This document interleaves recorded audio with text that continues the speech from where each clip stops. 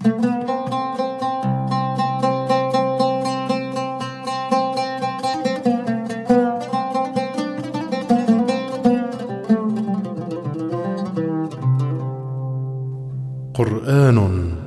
وواقع.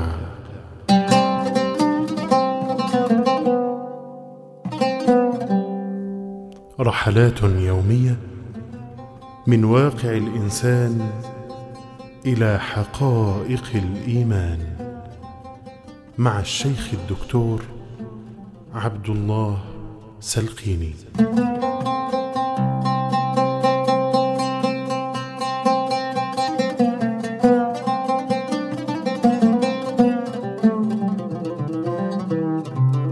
بسم الله الرحمن الرحيم. الحمد لله رب العالمين. وأفضل الصلاة وأتم التسليم على سيدنا محمد وعلى آله وصحبه أجمعين. إن المتقين في جنات وعيون. الذي يؤمن بالله ويصدق كتابه ويعلم علم اليقين أنه منزل من عند الله يصدق ما أخبر به القرآن. إن المتقين في جنات وعيون. المتقون الذين يتقون ربهم. ما معنى التقوى؟ من وقى يقي أي قي نفسك من عذاب الله. كيف تقي نفسك من عذاب الله؟ أتكون من المتقين. تقي نفسك بعذاب الله بأن تتقي الشرك يعني تبتعد عن الشرك وأن تتقي المعاصي. تجتنب معصية الله تبارك وتعالى فتعمل العمل الصالح. تكون من المتقين. إن المتقين في جنات وعيون في بساتين متعددة. ليست جنة واحدة. كل واحد من أهل الدنيا من أهل الجنة يملك بقدر الدنيا وأضعافها كما ورد في الأحاديث الصحيحة. وقد جاء في سورة النبأ إن للمتقين مفازا حدائق ليس حديقة واحدة حدائق وأعنابا وكأسا دهاقا كأسا مملوءة.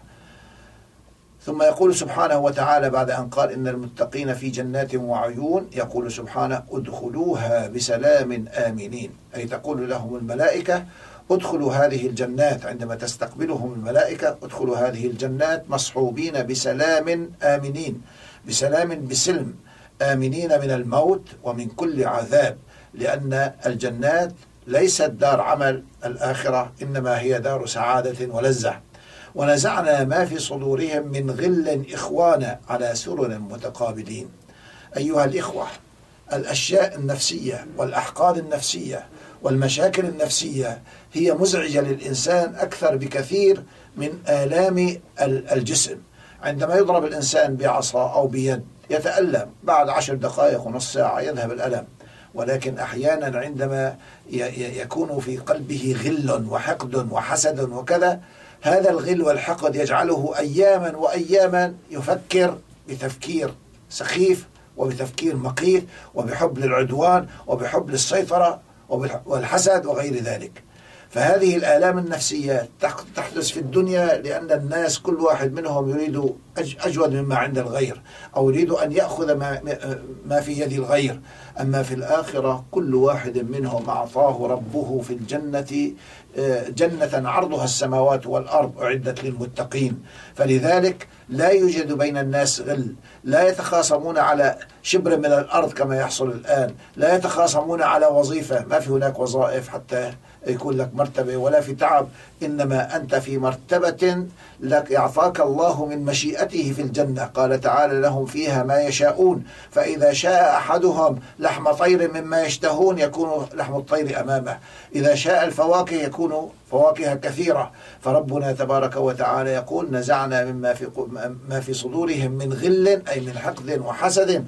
إخوانا أخوة حقيقية أخوة مبنية على المحبة والسعادة وعلى سرر متقابلين مسرورين يقابل بعضهم بعضا. يتلذذون في الأحاديث والتمتع بحديث بعضهم ولا لا يمسهم فيها نصب وما هم منها بخارجين.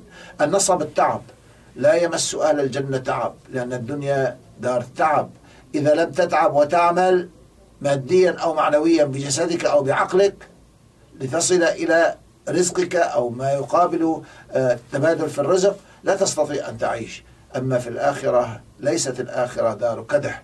إنما الآخرة دار جزاء ففي الآخرة لا يوجد فيها تعب في الجنة. لا يمسهم فيها أي في الجنة نصب أي تعب وما هم منها بخارجين.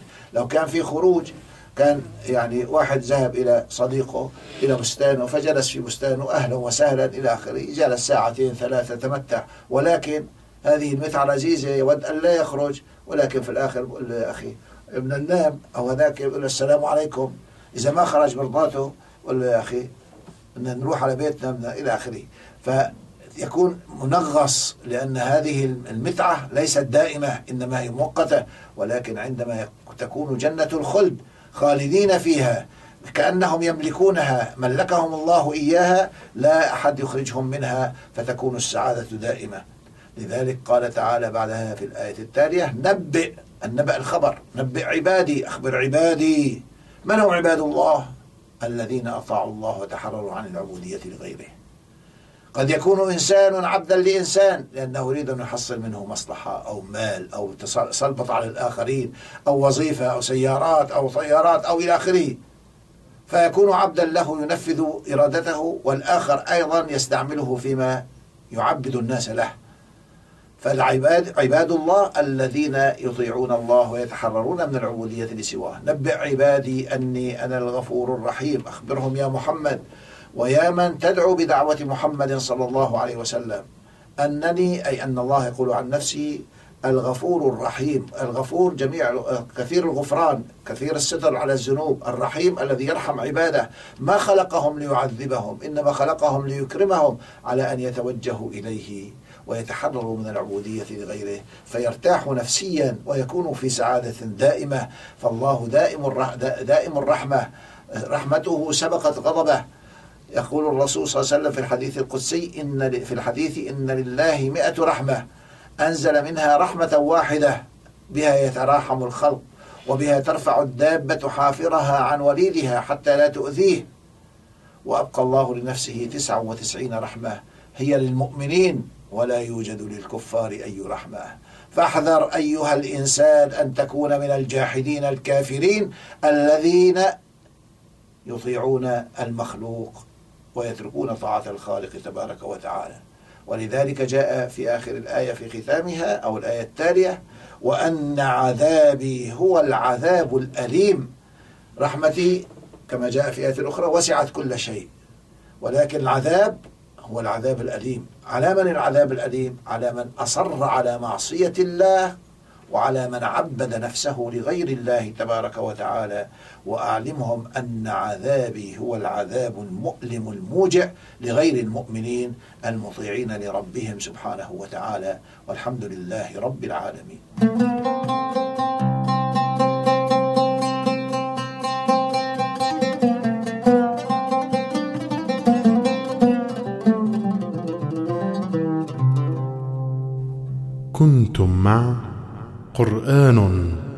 وواقع والشيخ الدكتور عبد الله سلقيني.